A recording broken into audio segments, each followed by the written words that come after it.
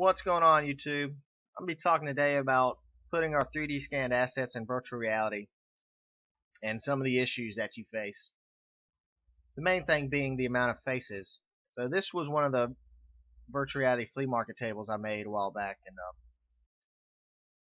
I did not reduce the face count on this one so there is 270,000 faces on this and when you go to view it in VR with cardboard views viewers it um it stutters and lags and it just won't view.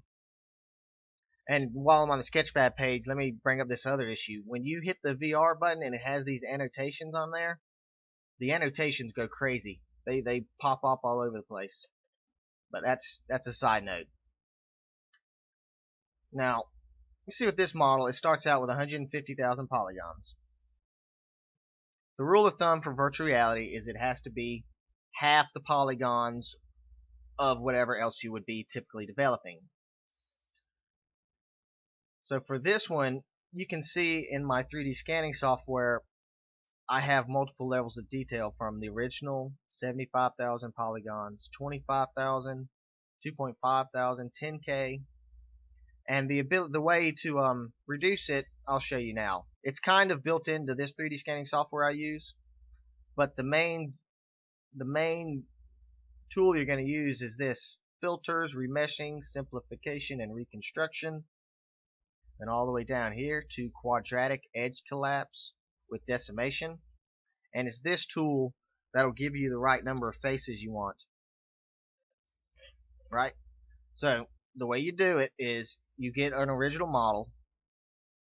I go here and I export the geometry for retouching. Yep, export it, and then I open this geometry in MeshLab. I use the quadratic edge collapse decimation, and I make it go from whatever it is now to what I want it.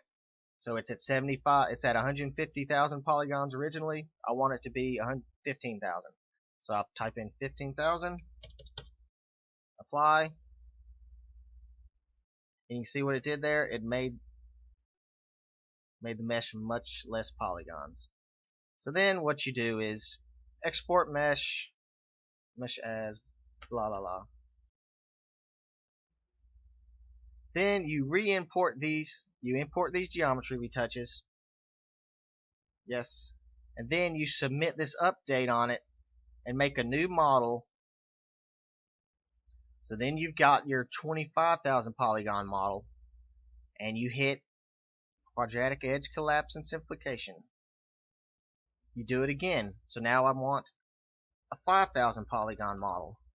Apply it. It reduces it again. Export mesh for retouching or export mesh as save. Yes, replace the mesh. Yes. Then you repeat the process. Ex import geometry retouches. Yep. Yep. Run an update and then you get the um, the model like this one, which is 5,000 polygons reduced, but it still has the original colors and they're almost the original detail. You can see the hard edges there from where it smoothed out the um, high poly models. But this 5K model can actually be used in VR. You can use that. You can't use the other ones.